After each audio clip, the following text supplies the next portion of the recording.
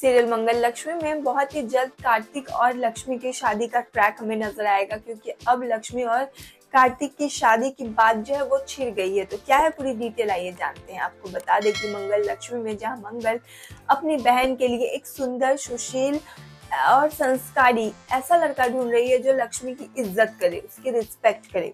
तो बहुत ही जल्द अब मंगल की तलाश खत्म होने वाली है। ये तो हम सब देख रहे हैं एपिसोड में कि किस तरह से सीरियल में होली का सेलिब्रेशन चल रहा है। और होली के आ, मतलब इसी सब सेलिब्रेशन के दौरान गायत्री की जो एक फ्रेंड होती है वो लक्ष्मी को अपने बेटे के लिए पसंद करती है। तो मंगल से वो बात करती है कि मेरा बेटा है और मैं लक्ष्मी जैसी लड़की की तलाश कर रही हूँ, मुझे लक्ष्मी पसंद है। जिसके बाद मंगल से पहले, मंगल की जो सास है, वो अपनी बहन गायत्री से बात कर लेती है लक्ष्मी के शादी की। गायत्री अपनी बहन से कहती है, यानी कि मंगल की सास से, कि जीजी, कार्तिक के लिए कोई ढंग की लड़की नहीं मिल रही है, जिसके बाद झट से गायत्री को अपनी बहन को समझाते हुए कहती है, मंगल की सास, की लड़की तो तुम्हारे नज़र पे ही है, तुम ढूंढो नज़र के सामने है और मैं लक्ष्मी की बात कर रही हूँ, तुम लक्ष्मी को लेके एक बार सोचो।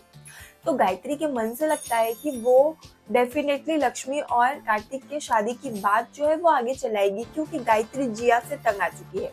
वो किसी भी कीमत पे जिया और कार्तिक को अलग करना चाहती है।